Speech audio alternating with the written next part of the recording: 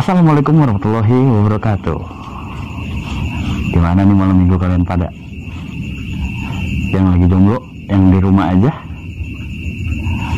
Di sini gue bakal nemenin lulu pada untuk dengerin cerita-cerita serem nih. Gue Widi, di sini gue bakal menceritakan pengalamannya temen gue di saat dipindah tugaskan di salah satu rumah sakit di bilangan Jakarta Selatan. Dia ini dokter. Dia ini bercerita tentang pengalamannya dia di saat dia lagi dipindah tugaskan. Pengalaman-pengalamannya dia di saat dia masuk rumah sakit yang terbilang cukup lama sebetulnya. Walaupun dia sendiri itu orang yang cukup berani sebetulnya. Eh, nggak uh, usah lama-lama lagi nih. Kita masuk ke ceritanya ya. Let's begin.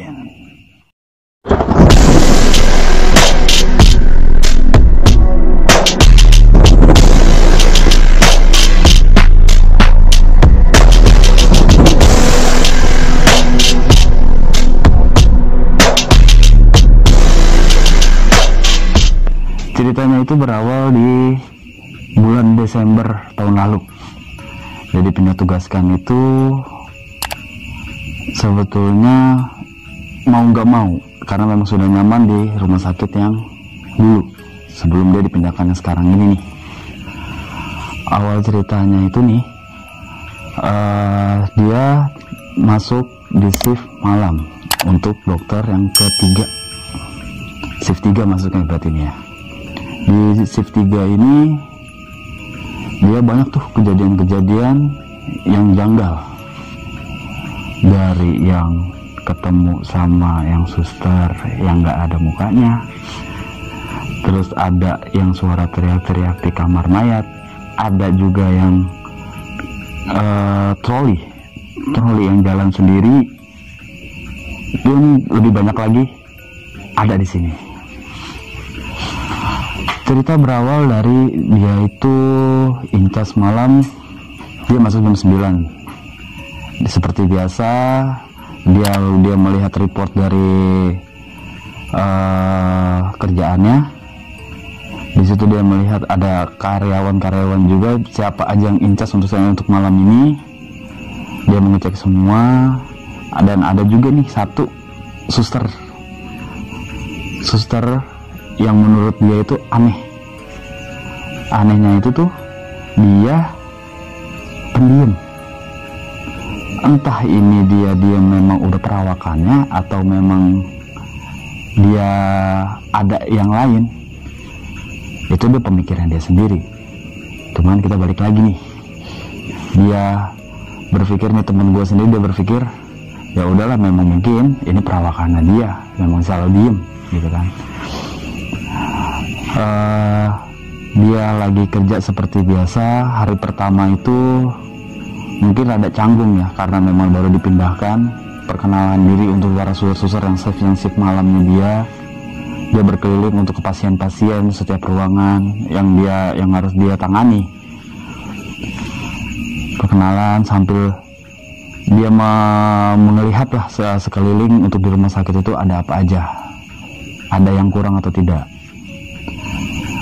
setelah dia berkeliling dan, dan dia melihat pasien-pasien yang ada di rumah sakit itu, dia baliklah ke ruangannya dia. Dia itu ya, ya seperti biasa para dokter sebelum-sebelumnya gitu kan. Dia ngeliat report yang, yang biasa ada penanganan yang cukup serius. Dia manggil lah nih si suster ini yang pendiam ini nih dipanggil si suster ini kita sebut aja ya. Namanya kita samaran. Uh, namanya itu Dinda. Mbak Dinda ini mengambil report untuk pasien satu. Dia manggil dia masuk ke ruangan. Nggak lama kemudian dia ngobrol lah untuk pasien ini seperti apa dengan bahasa basinya dia dia ngobrol ngobrol ngobrol ngobrol ngobrol. Setelah dia ngobrol setelah dari situ ada nih kejanggalan di suster ini. Sus? Suster nggak apa dia ngobrol tuh dengan menanyakan si suster ini? Sus suster ini ya tidak menjawab cuman hanya diam dengan natap mata teman saya ini si dokter. Tanpa menjawab si teman saya ini ngobrol sama dia. Sus suster emang perawakannya diam ya? Dia bilang begitu tapi suster pun bilang saya emang begini dengan nada datar dengan fatnya dia. Tanpa pikir panjang teman saya ngobrol hmm, geng tanpa tanpa pikir panjang teman saya menyudahi perbincangan itu. Oh ya sudah. Oke lah. Suster boleh lanjut? Dia bilang begitu. Ke posnya dia lah kata. Ke tempat kerjanya dia. Singkat cerita. Di hari ketiga mulailah nih di sini kejanggalan-kejanggalan yang ada nah nih teman gue ini masuklah di hari ketiga dan mulailah di sini ada kejanggalan-kejanggalan di rumah sakit tersebut. Awal dia masuk seperti biasa dengan dia melihat report dan segala macam, semuanya sudah beres semua. Di saat itu teman gue sendiri nih mau nge mau ngecek up untuk di jam 12 malam itu pasti ada ke check up nih untuk pasien. Lorongnya cukup jauh dari tempat kantornya dia untuk ke ruang pasien itu lumayan cukup cukup jauh. Harus melewati tiga lorong ini. Lorong ini uh, kalau bisa dibilang lampunya nggak terlalu terang cuman dia temaram lah. Nggak terang-terang banget mungkin hawanya untuk di saat itu cukup biasa aja buat dia. Untuk dia biasa dia datang sampai ke pasien-pasien yang itu di jam 12 malam itu dia check up.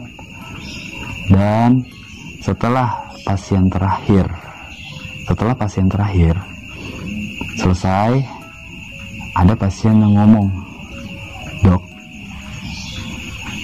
dokter baru ya di sini. Nah teman gue jawab dong iya bu saya di sini baru. Karena saya dipindahkan dari rumah sakit A untuk rumah sakit yang sekarang kata dia seperti itu. Dok di sini hati-hati dok. Di sini saya suka diganggu. Hmm. teman gue teman gue ini jawab dong langsung kan ya. Diganggu kayak gimana ya bu? Kayaknya setiap rumah sakit pasti ada yang seperti itu iya dok. Memang banyak. Cuman di sini lebih berasa lebih berasanya ya dokter nanti bakal tahu sendiri deh. Saya di sini sudah dua minggu dok. Cuma memang gangguan-gangguan yang di sini tuh ya ada aja sih. Dari yang seorang perempuan yang nangis sesukukan ada yang orang teriak. Terus ada yang anak kecil yang lari-lari sambil ya main bola anak kecil main bola gitu. Padahal itu malam hari. Dan teman gue pun menjawab yang benar nggak ada ah, begitu kan di sini juga nggak diperbolehkan untuk anak kecil main. Gitu kan gitu kan sama, sama teman gue ini. Cuman ah, yang saya dengar seperti itu dok. Ya udahlah ibu mungkin kurang tidur. Coba ibu istirahat. Nah sampai di sini selesailah nih teman gue ngecek up ya udah ya. Ibu udah ibu udah harus istirahat. Selesai. Dia keluarlah nih dari ruangan tersebut. Tiba-tiba hawa dingin ini muncul. Hawa dingin yang mungkin kalau buat temen gue ngerasa ini dia cerita tuh dinginnya cuma setengah setengah badan. Kayak ya mau kalau misalnya gue bilang nih uh, yang nggak normal gitu ya. Dingin yang nggak normal masalah setengah badan doang gimana sih gitu kan. Oke okay lah nih temen gue ini jalan dari lorong ke satu ke lorong kedua gitu kan. Nggak ada apa-apa. Tapi pas pengen lorong ketika pas dia pengen masuk ke kantornya pas dia menengok ke kiri untuk di polemik saraf itu memang lorong itu gelap. Dan dan polemik apa dan polemik uh, saraf ini dia beroperasi itu dari dari pagi hingga sore doang. Jadi itu untuk tempat untuk polemik yang di saraf itu buat cerita ini nih. Itu pasti dimatikan gitu kan. Dan dia teman gue ini ngeliat ke kiri nih. Dia ngeliat ke kiri dan dia, dia ngeliat itu ada troli.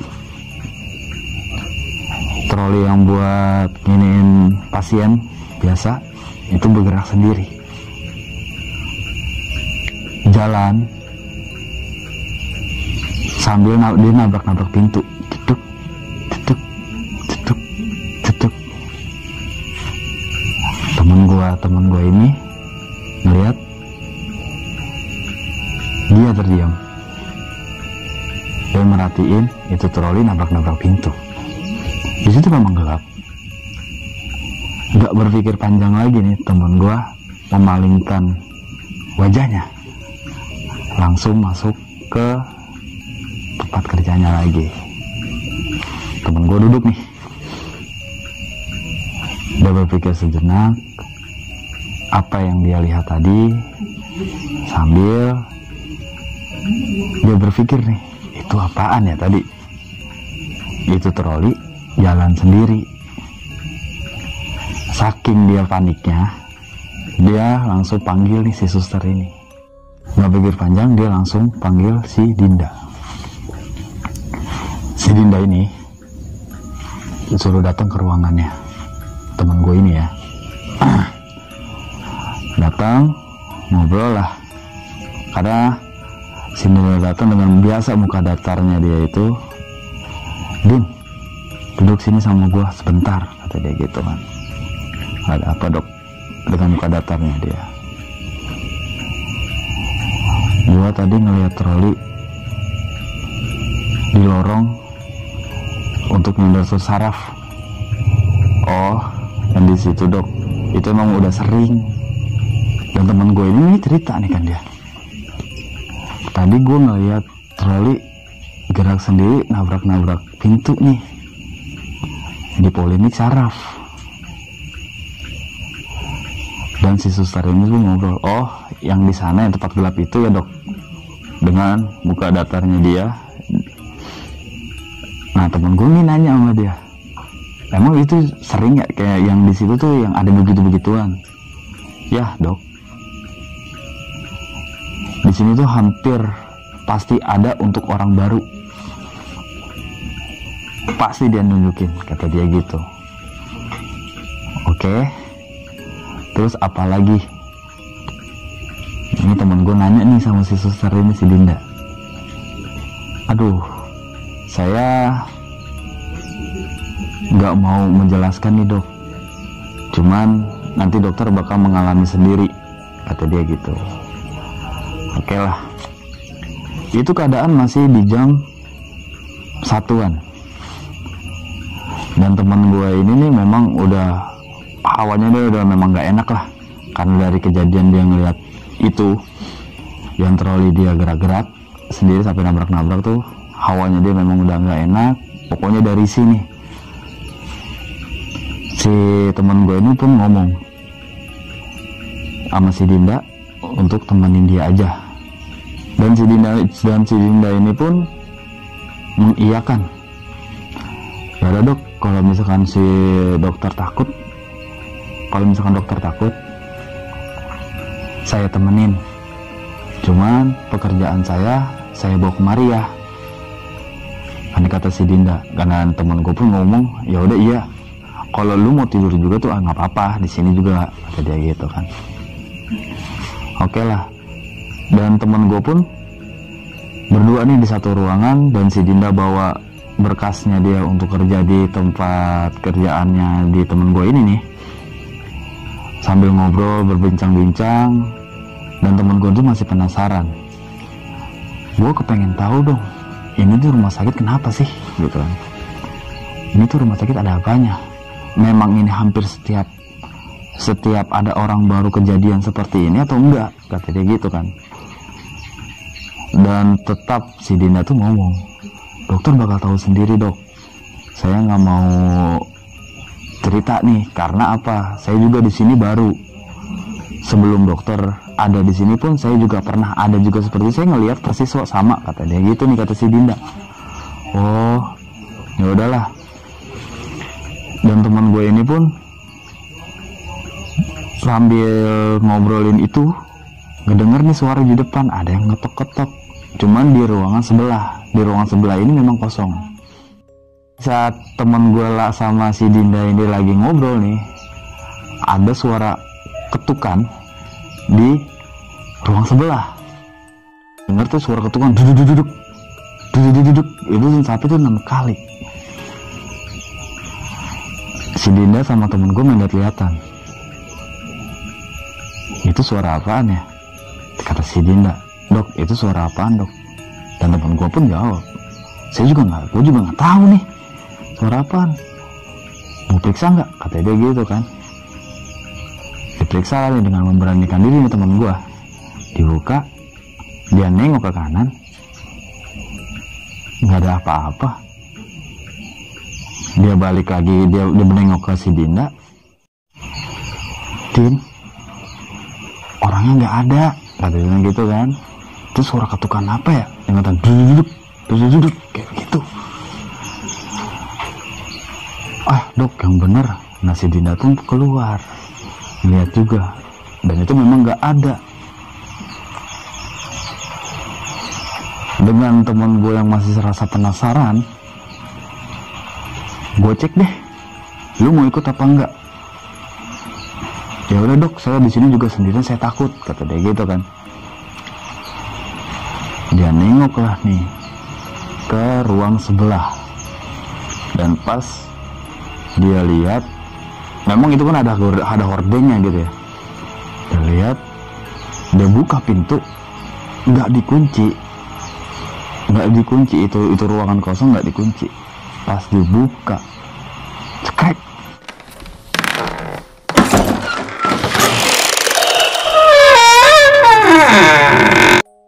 Dia ngelihat perempuan tinggi baju merah madep ke belakang dengan rambutnya tuh sampai menjulur ke bawah.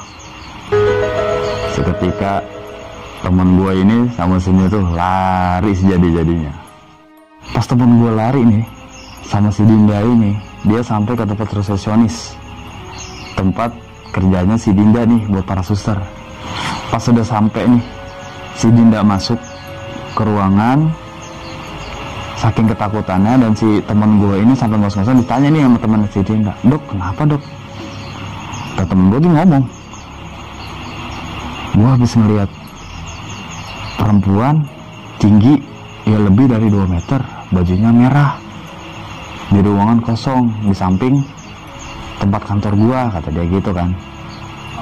Oh jadi susar ini nih yang teman sini ini udah tahu karena dia udah lama uh, udah lama kerja di situ kalau yang perempuan merah itu dok itu memang udah sering di situ dok kata dia gitu kan oh ya udah Memang dokter duduk dulu di sini, tenangin dulu. Nanti saya ceritain. Karena nih teman si Dina ini udah udah lama nih, dia kerja di situ udah sampai udah hampir enam tahun kerja di situ. Singkat cerita, ini teman gue ini disuruh duduk dulu deh, menceritakan apa sih nih yang yang tadi nih yang dia lihat, kata dia gitu kan. Ada teman teman teman Dinda nih, temen gue duduk lah nih, ya temen gue duduk udah cerita. Sus, tadi saya ngelihat di ruangan kosong samping samping kantor saya itu ada suara ketuk. Diceritain ini semua ini suara ketuknya karena gua karena gua penasaran nih sama si Linda gua cek lah. Nih gua cek nih itu ruangan. Pas gua buka itu ada perempuan tinggi rambutnya panjang sampai ke bawah. Madepnya nggak ke gua cuma dia madepnya ke belakang. Ngambil membelakangi gua kata dia gitu. Oh Iya dok, itu memang sering ada di situ. Dia nggak nggak cuma di situ aja. Dia kadang dia kadang dia suka juga jalannya di lorong yang tempat dokter nih yang biasa. Kalau dari ruangan dokter buka nah itu pas di lorong dia pasti suka di situ dok. Dia nggak nggak ngeganggu dia cuman kata si temannya si Dinda ini nih dia nggak ngeganggu. Dia cuman aja mau menunjukkan sosoknya dia menunjukkan sosoknya dia itu karena dia itu ada nih loh di sini kata dia seperti itu. Singkat ceritanya nah, setelah temannya si Dinda uh, menceritakan itu tuh si, teman gue ini tuh ngobrol. Sebetulnya dia itu memang memang pasien di sini dulunya. Jadi dok yang dokter lihat di ruangan itu tuh yang perempuan baju merah panjang. Bukan panjang sih tinggi. Rambutnya panjang sampai ke bawah itu sebenarnya itu pasien juga dok. Dulunya itu dia meninggal karena penyakit HIV AIDS. Nah teman gue nih yang dokter ngotot dong. Jadi teman gue ini langsung ngeliat ke teman si Dinda nih yang bener sus? Iya dok. Dulu tuh dia meninggal itu di kamar 203 loh teman gue ini kan langsung langsung langsung teriak lagi kan ke dia. Sus saya terakhir itu ngecek up pasien di ruang 203 itu. Nah teman si Dinda ini tuh langsung langsung berdiri dong kaget. Loh dok. Kan itu ruangan kosong dok itu udah lama dok. Dari kejadian terakhir itu hingga saat ini memang itu kamar kosong di 203 itu. Loh. Dan temen gue ini kaget nih di sini nih. Ya sambil lihat-lihatan nih sama teman si Dinda ini kan. Nah terus? Jadi gue ngecek up siapa dong? Sedangkan si pasien ini tuh ngobrol sama gue dan teman si Dinda ini langsung berdiri lah. Dok itu ruangan kosong dari 10 tahun yang lalu dok.